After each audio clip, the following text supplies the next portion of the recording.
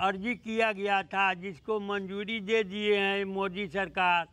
तो इनको भी जो धन्यवाद देते हैं। इस साल दिवाली के मौके पर माँ सीता की जन्मस्थली, सीतामढ़ी के पुनौरा धाम स्थित जानकी मंदिर भी अयोध्या की तरह जगमग होगा। माता जानकी मंदिर में करीब एक लाख दिए जलाए जाएँगे। इसे लेकर पुनौरा धाम जानकी जन्मभूमि मंदिर, न्यास के उप समिति की शुक्रवार को हुई बैठक में निर्णय लिया गया। मंदिर न्यास समिति के पदेन अध्यक्ष महंत कौशल किशोर दास ने कहा कि जहाँ अयोध्या स्थित राम जन्मभूमि को दियों से रोशन करने की तैयारी है, वहीं माता जानकी की जन्मस्थली पर भी दीपोत्सव की तैयारी शुरू कर दी गई है। दिवाली को लेकर न्यास समिति के सदस्यों में उत्साह है। पुनौरा धाम मंदिर को दीपोत्सव के लिए सजाया, संवारा जा रहा है।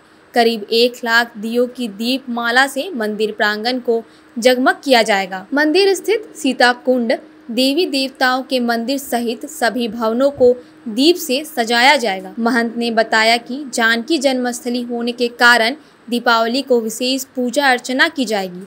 साथ ही श्रद्धालुओं के लिए प्रसाद की वृहद व्यवस्था की जा रही है। इसके लिए सदस्यों को ज़िम्मेदारी सौंपी गई है। राम जन्मभूमि अयोध्या से बिहार के सीतामढ़ी में स्थित माँ सीता की जन्मस्थली पुनौरा धाम तक रेलवे लाइन का दोहरीकरण किया जाएगा।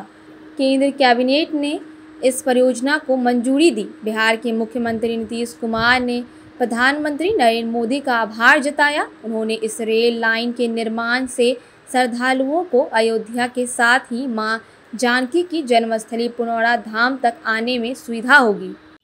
सरकार के तरफ़ से मिला है तो इसके लिए कहना यही है कि जानकी मैया, जुगल सरकार, पुनौरा धाम, उनको कोटि कोटि जो आशीर्वाद दे रहा है कि उनकी लंबी आयु हो और जस मिले।